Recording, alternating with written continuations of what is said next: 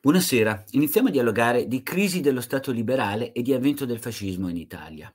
Una di queste cose, mentre la sinistra è molto forte, mentre è molto forte il PSI e mentre è molto forte il movimento dei lavoratori, vi è anche, vi è anche la presenza di Mussolini in Italia. Mussolini non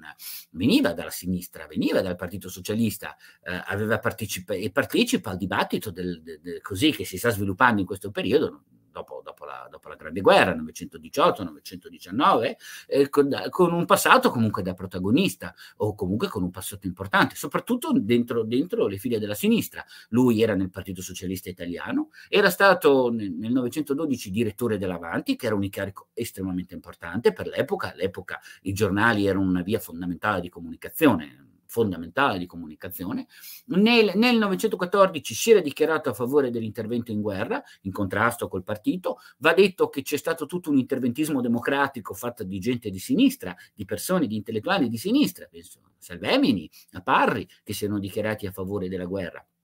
Lui si era dichiarato a favore della guerra con un suo, una, sua, così, una, sua, visione per cui una volta dato le, le, armi al popolo, il popolo avrebbe fatto la rivoluzione, adesso so quanto questa fosse veramente fondata, adesso non entriamo su, così, su, su, questo tipo di analisi, ehm, e tuttavia con questo tipo di posizione era stato espulso dal partito, il Partito Socialista Italiano, uno dei pochi in Europa, forse, forse uno dei pochi in Europa, il Partito Socialista Italiano era, era neutralista. Eh, quindi voleva, fu uno dei pochi, forse l'unico in, Italia, in, in Europa a essere neutralista. E a proposito del fallimento, poi si dirà della seconda internazionale, perché gran parte dei partiti socialisti europei invece, invece si dichiararono favorevoli alla guerra eh, per sostenere lo sforzo dei governi nazionali, penso ai francesi, penso ai tedeschi. Sarà espulso dal Partito Socialista e fonderà il Popolo d'Italia, un giornale che eh, in primo momento sembrava un giornale socialista, un giornale di sinistra. Primo momento aveva anche il sottotitolo quotidiano socialista, poi questo sottotitolo sparirà così, eh, ma eh, così, un giornale che sembrava rappresentare una, un modo diverso di intendere così eh, una certa visione anche sociale del paese, de, de, del, della visione della società. Nel 19, tuttavia, dopo finita la guerra, un po' scavalcando il malcontento della vit- cosiddetta vittoria mutilata, eh, si presenterà come un po' il paladino dei reduci eh, così, e dello scontento, de- della delusione di una parte del paese verso l'andamento della guerra e fonderà poi i fasci di combattimento italiani, no? i fasci italiani di combattimento. Un movimento un po' un po' ambiguo forse per certi versi, nasce a Milano nel 1919 e quello si dice no? nel, nel covo lì, quello c'era a Milano, il San Sepolcro e i cosiddetti fasci di combattimento. Certo il riferimento ai soldati, a chi ha combattuto, alla Grande Guerra, al mito della Grande Guerra, tutto quello che la Grande Guerra ha voluto, ha voluto dire. E il tema, il programma si fonda un po' sull'idea della lotta tra stati poveri, pensiamo a Versailles contro stati ricchi. A Versailles, cioè i stati ricchi hanno avuto tutto, i stati poveri naturalmente eh, eh,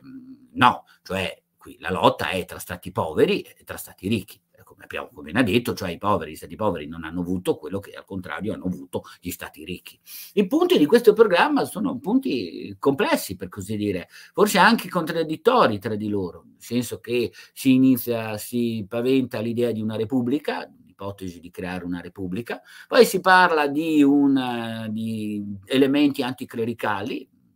Eh, del Cavour, anche Cavour stesso aveva fatto la legge sui conventi,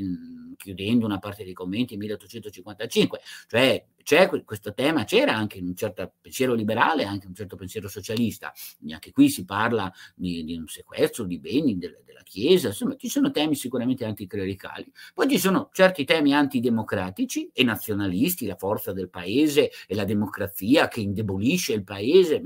parla di un paese che deve, della difesa degli interessi nazionali di un paese forte, e poi ci sono temi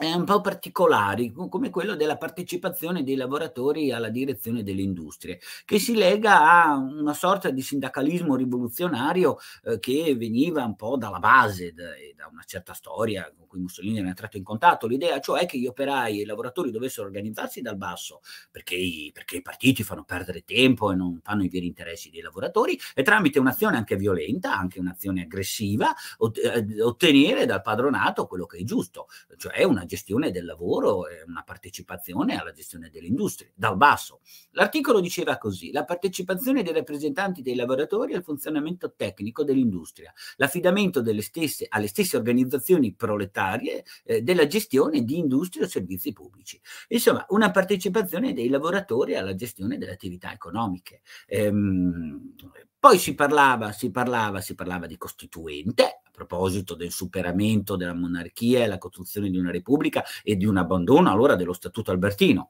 Mm, un'imposta progressiva, cioè chi guadagnava di più doveva, doveva, pagare, pagare di più. Sequestro dei profitti di guerra, chi aveva fatto i soldi con la guerra era giusto che, che contribuisse alle spese del paese, e il sequestro dei beni delle congregazioni religiose, questo l'abbiamo detto prima. Insomma, un programma con elementi diversificati, elementi anche sociali, oppure addirittura ha parlato anche elementi, elementi di sinistra, eh, che comunque ci sono, um, un po' un, un gazzabuglio, però ci sono anche elementi di destra, di una destra tradizionale, l'aspetto nazionalista, il tema antidemocratico, poi certamente c'è tutto il tema del, così, della guerra, del mito della grande guerra. Insomma, con un programma di questo tipo qua Mussolini ha iniziato ad operare mh, dal 1919 in poi. Eh, subito, subito, dopo il, il, programma del marzo, del marzo del 1919 è avvenuto una, un, episodio che poi sarà importante per Mussolini, a cui in qualche modo Mussolini farà riferimento, ma credo sarà importante un po' per tutto il fascismo. Cioè D'Annunzio con un suo modo di fare autonomo e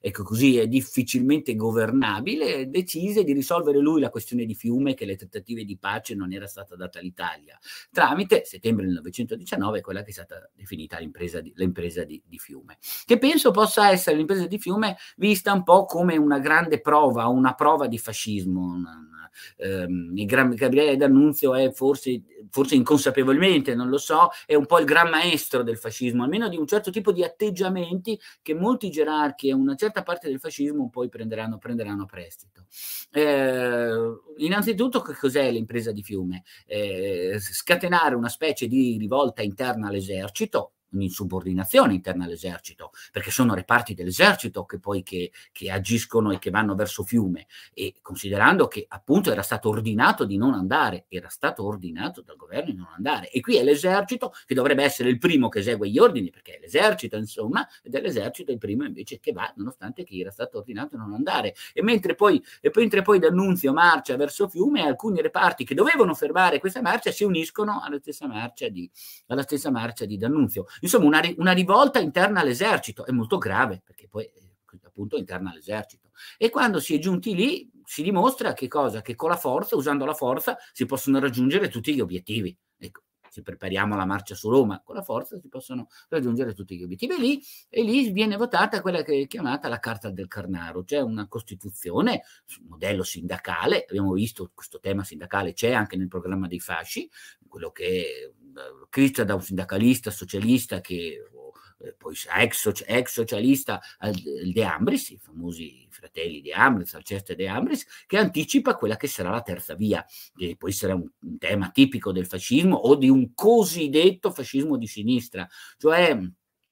un, il fascismo supera da questo punto di vista le grandi contrapposizioni che ci sono da una parte del, del, del, del comunismo, della sinistra che che presenta la lotta di classe e dall'altra del capitalismo che si fonda sul, sull'egoismo, cercando un'altra strada, appunto la famosa terza via, su cui torneremo. E certamente qui vi sono quelle questioni connesse al sindacalismo rivoluzionario e poi saranno la costruzione di un sistema corporativo che è tipico di, così sarà tipico di una certa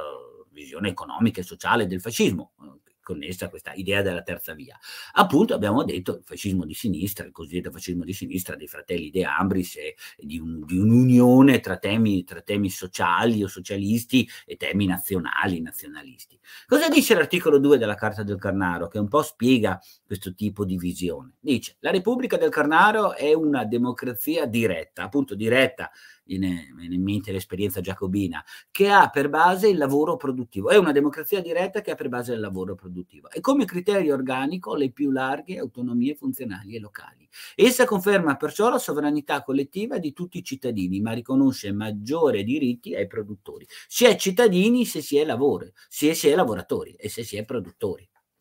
La questione di Fiume è una questione delicata perché abbiamo detto rappresenta un'insurrezione dentro l'esercito, una, una sorta di ammutinamento, no? ed, è, grave appunto abbiamo detto perché all'interno dell'esercito sarà poi risolta da Giolitti, forse anche esaurirà la sua, spi- la sua spinta nel 1920 e poi Giolitti farà, farà, mandare via i cosiddetti legionari, cioè quelli quali hanno seguito D'Annunzio, D'Annunzio a Fiume e poi dopo con il trattato di Rapallo Italia e Jugoslavia si risolverà la questione di Fiume, ci, ci si impegnerà a rispettare l'indipendenza dello Stato libero di Fiume e che poi dopo poi Fiume poi entrerà a far parte dell'Italia in un riconoscimento reciproco però delle altre frontiere, di ciò che no, di, delle altre cose che erano state, che erano state come dire, stabilite dalla trattata di pace. Nel novembre del 19 vediamo qua no, l'evolversi degli avvenimenti, nel novembre del 19 avvengono le elezioni, le elezioni che rappresentano comunque terremoto politico, rappresenteranno un grande cambiamento. Sono intanto le prime elezioni in Italia che avvengono su, con una legge elettorale e, e, queste elezioni segnano la fine di, di una storia, e la storia dell'egemonia del liberalismo in Italia, cioè il liberalismo, il sistema forze liberali che avevano fatto il risorgimento, avevano fatto, l'avevano fatto l'Italia, le forze che venivano da Cavour, venivano dalla storia del risorgimento, dal risorgimento italiano. I liberali avevano guidato l'Italia fino ad allora, fino all'entrata in guerra del paese. 1915 e, e, quindi è la fine di un lungo percorso de, della storia del paese. I liberali non erano un partito, erano un movimento, un, sì, però un movimento che era stato un movimento egemone. E poi segna un altro avvenimento veramente nuovo e particolare, cioè l'affermazione del Partito Socialista, del Partito Socialista e del Partito Popolare. Due partiti relativamente recenti, recentissimo il Partito Popolare, anche il Partito Socialista, che in fondo non avevano nulla a che fare, per così dire, con la storia del risorgimento, cioè non erano legati a un passato che aveva fatto, che aveva costruito l'Italia, nel bene e nel male naturalmente. E anzi il Partito Socialista poi era anche stato contrario a un certo tipo di storia e anche credeva relativamente all'importanza delle istituzioni liberali e anche il Partito, il partito Popolare che era di matrice cattolica, eh, venendo da, eh, avendo superato da poco il non expedit del di Pio IX e il distacco della Chiesa Cattolica dalla politica italiana dopo che l'Italia aveva ammesso lo Stato della Chiesa, anche il Partito Popolare aveva un rapporto complesso e problematico con una parte della storia d'Italia. Insomma, insomma veramente un terremoto politico per quello che, che rappresentava, per quello che aveva prodotto. E tuttavia eh, segna un, un, terremoto politico anche perché la maggioranza che emerse, eh, la maggioranza relativa, era quella di così, dei cosiddetti liberali, del movimento liberale, che erano una maggioranza che, eh, non, che non era in grado di governare da sola. Cioè i liberali costituzionali uscirono da queste elezioni con 179 deputati, prima ne avevano 310. Eh, ex giolitiani, eh, la Sfati dalla sinistra di Giolitti e dalla sinistra di Giolitti e dalla destra di Salandra, ripeto, sinistra di Giolitti e dalla destra di Salandra, e, e però un, non, non, in grado di governare da soli, non avevano più una maggioranza assoluta. Eh, fortissimo invece è uscito il Partito Socialista con 156 deputati, prima ne aveva 52 eh, con il 32%, 32,4% della, della rappresentanza, insomma il primo partito d'Italia, un partito importantissimo e con una maggioranza di questo tipo, un partito eh, con una grande forza dentro il Parlamento, ma anche il Partito Popolare con 100, 100, 100, 100 deputati, prima ne aveva 30, con un 20%, un 20% di voti, 20,6, anche questo è un partito molto forte, eh, che aveva aveva, aveva conquistato, conquistato, una forza che prima naturalmente, che prima, naturalmente prima non, non aveva. Eh, e un partito che era stato fondato da, da Luigi Sturzo, eh, un sacerdote, eh, dopo che la Chiesa aveva deciso che era venuto il momento di partecipare, di intervenire in politica, che la Chiesa non poteva rimanere fuori, era finito il non espedit, abbiamo detto, il non espedit, cioè il fatto che mh, la Chiesa e i cattolici non, parte, non, partecipavano alla vita politica italiana e, e anche, anche, il fatto che si ispirava ad una nuova visione della Chiesa, nasceva dalla Rerum Novarum di, di Leone XIII del, del 1891 che parlava di un impegno politico e sociale della Chiesa. Eh, mh, si erano presentati anche i fascisti. Con quel programma che abbiamo visto prima, con il programma dei fasci del marzo del 1919, e anche i fascisti, e si erano presentati a Milano con l'idea, il programma era stato scritto a Milano, il, il, il cosiddetto covo, il covo di San Sepolcro, dove un po' era nato il fascismo, il fascismo è nato a Milano, eh, era dove pensavano di essere forti, si erano presentati a Milano dove pensavano di essere forti. Mussolini poi era stato direttore dell'Avanti, aveva agito a Milano, stato, aveva operato a Milano anche, anche, prima quando era socialista. Insomma, si presentano a Milano forse anche con l'idea di far vedere la loro forza e, e i fascisti prendono solo, perché si può dire solo, solo 4.657 voti, insomma pochissimi voti. Il fascismo sembra finito, sembra un'esperienza finita lì. Mm, eh, si è sul, eh, si è così, sembra, sembra che non si è esaurita, una spinta che si sia, si è esaurita. Qualcuno disse si è visto su un cadavere in, in, alto, in, gran, in alto stato di decomposizione, lo stato di Benito, il cadavere di Benito Mussolini. Insomma, il fascismo uh, non, non, ha, non è riuscito ad attecchire sì, è giunto ad una sconfitta, una sconfitta elettorale che sembra dovrà lasciare un suo segno. Eh, Mussolini si giustifica rispetto a questo risultato così negativo, dice la nostra non è, non è una vittoria, né, però dice non è neanche una sconfitta, è un'affermazione, siamo una minoranza con la quale bisogna fare i conti, la battaglia continua. Eh, ecco, poi bisognerà vedere appunto come e quanto, probabilmente poi c'è stata anche una sottovalutazione, l'idea cioè che il fascismo fosse finito lì e che non avrebbe avuto un certo tipo di sviluppo, d'altra parte è un periodo in cui la sinistra è ancora molto forte, molto forte. Certo il problema è ora è formare il governo, qui si creeranno una serie di governi, il governo Giolitti eh, nella prima fase 2021, poi c'era un governo, un governo Bonomi dal, dal 21 al 22, poi, poi il governo Facca dal 20, che proprio nel 22 gestirà la questione de, della marcia su Roma, i grandi problemi. E certo il problema è che i liberali non hanno la maggioranza e quindi devono governare con qualcuno. I socialisti non collaborano, eh, non collaborano con i popolari e con i liberali, c'è un vuoto di potere e per, per governare i liberali dovranno un po' appoggiarsi ai popolari due forze comunque che tra di loro non vanno molto d'accordo, perché abbiamo detto che, che il risorgimento è stato fatto dai liberali anche a danno della Chiesa Cattolica, quando lo Stato della Chiesa era stato, stato, era stato inserito, no? scordiamoci la breccia di Portapia, inserito a forza, qualcuno dice a forza, dentro lo Stato italiano. Insomma, un governo instabile con elementi poco solidi e poco fondati anche dentro il paese. Eh, sarà Giolitti l'unico a gestire un po', a riuscire a, avere a capo essere a capo un po' della situazione e forse Giolitti era l'unico politico che Mussolini veramente temeva. Nel giugno del 20 Giolitti poi tornerà al governo, supererà gli scioperi, supererà il problema di Fiume. Certo le contraddizioni, i problemi in Italia e, e queste situazioni di grandi disordini erano molto profondi. E, e molto difficili forse da risolvere. Questo sarà dire, un elemento di forza del fascismo, sarà capace di inserirsi sulle grandi contraddizioni, le grandi problematiche eh, di questo periodo, gli errori dei, dei socialisti da una parte e la difficoltà dei liberali di governare il paese dall'altra. Mi fermo qua. Eh, vi ringrazio per avermi seguito, vi aspetto ai prossimi incontri dedicati al fascismo e all'avvento del potere del fascismo. A presto, alla prossima volta.